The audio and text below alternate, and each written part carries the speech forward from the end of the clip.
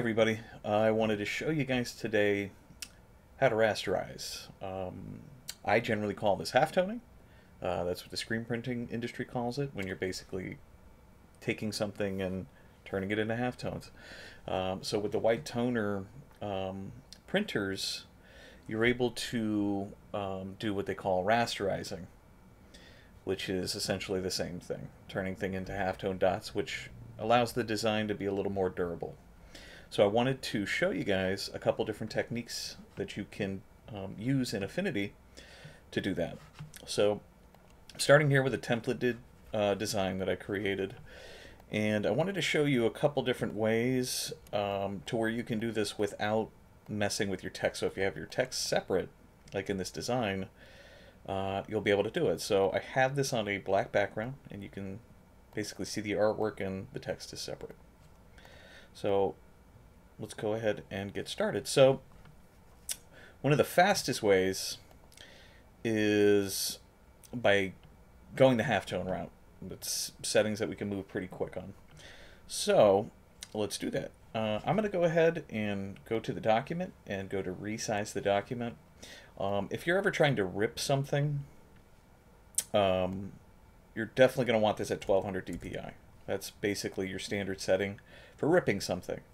Uh, now, as far as the way the image is going to be resampled, you're going to want to select nearest neighbor. There's not going to be any sort of blurring or arbitrary adjustments that the software will make. Nearest neighbor will just extend the pixel out, left, right, up, down from where it is. Um, that's your best option. And make sure resample is selected. So we'll hit resize.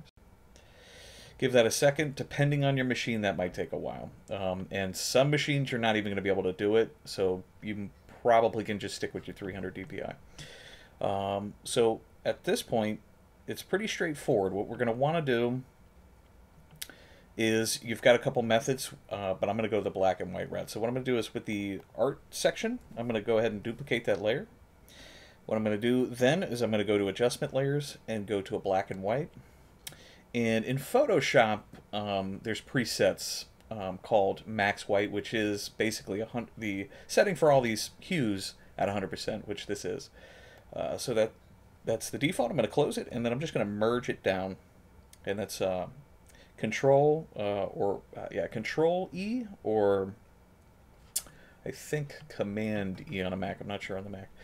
Uh, so now we have that image, and you can see in the layers preview, um, our artwork is now grayscaled where it needs to be. Now I'm going to head over to the live filters section in the layers panel in Affinity, and I'm going to head over to halftone. So this is pretty straightforward. You've got some options, and you'll notice this probably looks a little funny at the zoom level I'm on. Sometimes it looks like a lined halftone, but when you zoom in, you can see these are dots. Now, when we really zoom in, you can see they're very blurry. So what we're going to want to do is bump the contrast up to 100%. Okay, and now that we have that, we kind of want to calculate um, the size of the dot we want. So I'm not exactly sure what the best setting is for um, white toner printers, but I know in the screen printing industry, it's a pretty simple calculation to make. So what we're going to do is um, we're going to take the 1200 dpi of the document, and we're going to divide it by the line um, per inch for the screen that we want. Like in screen printing, it's 35s, 45s, 55s, 65s. Let's just do a 55. So we're going to divide that by 55 equals 21.81. I basically just round it to the nearest whole number. So we're going to go with a 22 cell size. So that's a pretty tiny dot. And you can see as I zoom, the, the, the program's trying to um, anti-alias, but it's having a tough time, so it looks looks very strange. But if you can zoom in, rest assured, that's the size it is. So that's the screen printing setting. I'm just going to bump it up to 42. I think that's probably a good size for uh, white toner printers, but you're going to have to play around depending on what you can do. And then the screen angle, I'm just going to knock it into 22, which is a um, widely used angle. So once I have that, I'm pretty much done. So now from here, really all I have to do is um, either clip or use this layer as a mask. And I'm going to go the mask route. So what I'm going to do here is I'm going to rasterize this layer by going to Layer, Rasterize. And you'll see it'll take the adjustment layer and any effects and stuff and merge it down. So we'll give that a second. Keep in mind the document's 1200 dpi, so this might take a second.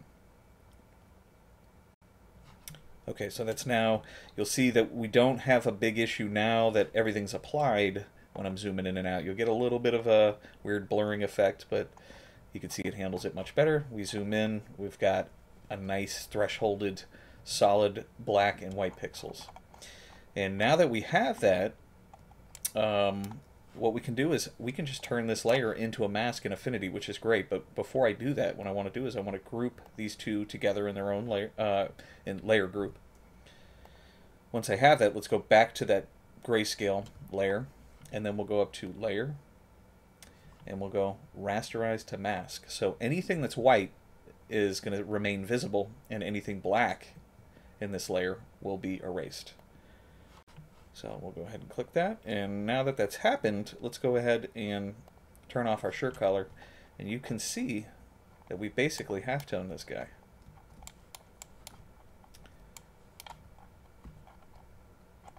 So now it's a different type of halftone because you can see the, the nice soft edges that a white toner printer can handle.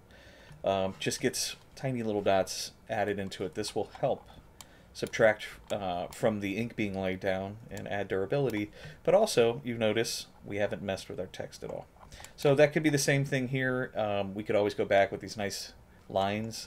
There's not really much going on there, so you're probably not going to want to. But just in case, if they're, if they're thicker and a lot of ink being laid down, you're probably going to want to add some dots into them. I kind of like it anyways. This design kind of um, has a vintage feel to it anyway, so it kind of gives it a roughed up look. So that's one method, okay? So what I'm going to do is I'm just going to duplicate inside this group the artwork. I'm going to drag it out. And we'll turn off that example. Um, okay, now the next example is I'm going to show you how to use a vector shape that we're going to use a gradient bitmap.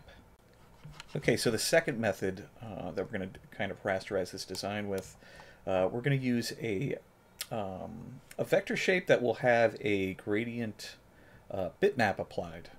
Um, sounds kind of an oxymoron because it really kind of is.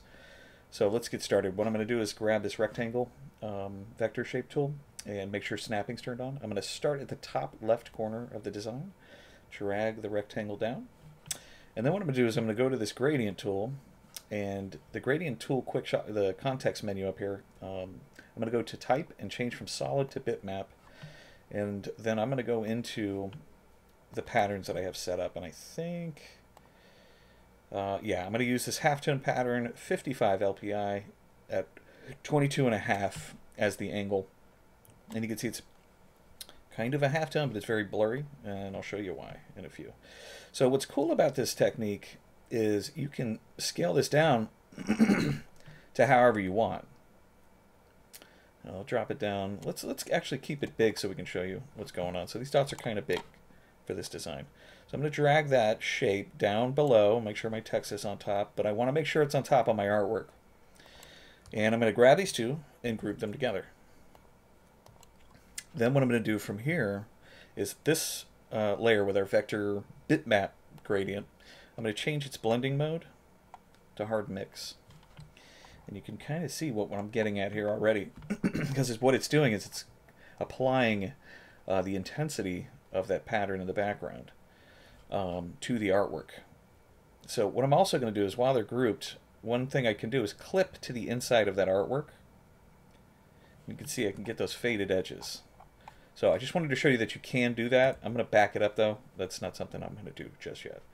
So what I'm going to do here is now with that gradient tool still active, you can see that I can come in here and kind of drag this down and have fun at any angle I want you can see it uh, definitely, you, there's some loss um, of the, the nuanced fading that's going on in these flames. But I think it's a kind of cool look, you know, depending on if that's, you know, a result your client wants. Then what I'm going to do here is I'm going to hold control and click on the thumbnail of the artwork layer, which will then create a selection out of that. You can also come up here to selection and selection from layer. So what I'm going to do is I'm going to now go to this um, uh, vector bitmap gradient and I'm going to apply the mask to it. So now we get that nice soft fading and we, we get the effect that we're really looking for. Now, you're probably asking yourself, yeah, that's cool and all. Let's say I wanted to get rid of the black here. How would you do that? Well, pretty simple. All you have to do now is go ahead and rasterize this group. It'll merge everything down. Uh, now that that's down and merged, you can see we get nice sharp edges to our pixels here. So what we're going to want to do is we're going to go to Adjustments and Invert. Merge it down. And then we're going to come up to Filters in Affinity. And it has a very cool one that I love.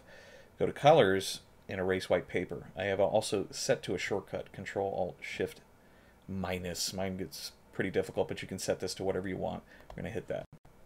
And now what that does is deletes all the white. Now, you probably guessed it, all we have to do is invert it back. Because what essentially happens is all the black in the image initially gets inverted into white. We use the erase white function to get rid of that white and then invert back. And we essentially have our artwork with the black gun. So it's essentially doing a knockout black, which is very cool. So this is another method. Okay, so on to the third and final technique that I'm going to show you. So I'm going to go back into that original artwork layer, duplicate, and pull it out so I can start working with it. And we'll turn off that second scenario that I showed you guys. So this third and final method uh, is pretty straightforward and involves some custom brushes. These are some brushes that I've made and are available for purchase. I'll have the uh, place where you can purchase those in the description box below. And it's pretty straightforward. You can use press effects and I've got a couple methods and it's essentially using a variation of the two that I just showed you so let's start with a super fast one and I'm going to start by creating that rectangle again. Right in the corner with snapping turned on you can see that our halftone pattern from earlier is still in effect but we're going to go ahead and change this I'm going to go to the gradient tool go to bitmap. Again I'll click it to get the dialog to show up. So in my Pixel Moshpit folder in Affinity, in my brushes, I have press effects. And I'm going to go into patterns, and I've got a whole bunch of patterns. And I think I'm going to start with something like this. I'm going to hit open. So this works basically the same way, and I can scale this up and turn it whichever way I like. So if I feel like, you know, this isn't the exact look I want, well, just go back to bitmap, click it again, and pick a different pattern. So let's try this one out. I don't like how big that is. Let's just kind of bring it down a little bit. And that's good there. Now, let's turn off the background so you can see what's going on. So right now it's applying that, that pattern, the seamless pattern, but it's not exactly erasing away. Well, uh, it's a very simple fix. With that rectangle selected, I'm going to hold Control and click on the artwork layer, and then Control G to group. Now that they're in a group, I'm going to go to the rectangle pattern, uh, bitmap pattern, and I'm going to go all the way down to its layer mode, which is a erase, and it's a fantastic uh, layer mode because any of the active pixels in that specific layer that you set to erase will erase the ones below it. Um, you have to be careful. If, let's say I drag this layer above to everything, you can see it'll erase everything below it. But the cool thing is, if you isolate a layer into a group and do it within the group, you're only going to affect that layer in the group. So let's go ahead and turn that background on. So you can see that's a super fast way to, to get some results. So let's uh, add on a little bit more. What I'm going to do is apply a mask. So with this artwork layer selected, I'm going to apply a mask. And I've got some great brushes here that do all sorts of different stuff. You can use a mouse or a Wacom tablet, which I'm going to be using here. I'm going to select the brush tool, select my brush that I want to use, and in masks, black will erase from and white will add back into the mask. So uh, that's what I'm going to do. I'm going to take in the artwork layer, I, am going to kind of take away some of this edge here. Um, let's fade out some of this flame stuff here and just kind of hit hit different spots let that nice distressing, and it's kind of like a plastisol distress of a shirt that's been worn a long time. Um, and then another cool thing is, and I just wanted to show you, if you're going to try to do it on this vector version uh, of a bitmap gradient, it doesn't work. Um, you can't apply a mask to that. So we're going to delete that. The way you can is you have to rasterize that first. So if you feel like you need to go back and make changes, I would duplicate first, turn off the layer, come back, rasterize it. So you're, you're rasterizing your duplicate. You always keep a backup of the uh, editable. Now we can go ahead and apply a mask to that and you can see that it's kept the effect there. It's still erasing and now we have a mask on it because then we can come in here and you know certain focal points we don't want to we don't want to have too much texture eating away at stuff like that. You know, which tends to be eyeballs. People like looking looking at eyeballs. Um, so that looks pretty good. And then let's say, hey, if you wanted to do your text too, any of these text layers, you can do it. What I'll do is third artwork layer. But I'm going to just grab all these texts, group them, apply a mask to the group, and then I can come in here with these brushes. Again, make sure I have black. I'm painting with black. And I want to make sure I have my mask selected, which it is. It's highlighted that way. Then I can kind of come in here and add some more of this kind of t-shirt um, filter here. All right. Like that. And then I'm going to go with this heavy brush again. Really knock out maybe some of the edges here. Uh, I'll get some in there. Yeah, it's a little too much. We'll get some. For, nope. Not liking that. Maybe a little here. Brush a little out there. Okay. So text is taken care of. And you can always revisit your artwork layers too. So that is a great way to rasterize without actually having to do like a halftone dot. Um, you're doing kind of a more organic um, you know, worn in feel, which I think would be great results for the white toner printers um, because you're going to have that really great vintage look and you'll get the dur durability to the design. Uh, and, you know, eventually over time, the, you know, all designs are going to wear down, whether it's screen printing, white toner printing, um, you're going to have some wear and tear, so it'll hide within this method. So that basically covers it. Um, I showed you three different methods, whether you're using a halftone, um, or going in and using a gradient um, bitmap pattern to kind of halftone. Uh, and then your final one, which is actually getting in there and using a more organic rasterization method, which, which is the kind of a vintage distressing, you know, wear and tear distress, uh, which I think would be a real successful method because, you know, it would hide any of the wear and tear over time as well. And I think it's just a great look too. Um, the vector um, or not vector distressing, but the distressing patterns and brushes will be available in my store. I'll leave a link to that in the description box. If you have any questions, please hit me in the comments below, and I'll see you guys in the next video. Thanks.